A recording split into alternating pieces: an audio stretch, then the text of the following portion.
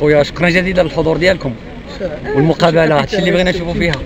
من كلا الطرفين حنا اللي يهمنا هو اللعب الجميل باش نمتعوا الجمهور. النتيجة ما تهمش أهم شيء هو الأخلاق. وخصنا نركزوا على الأخلاق في هذا المستوى هذا وفي المستوى الأعلى. وشكرا جزيلا.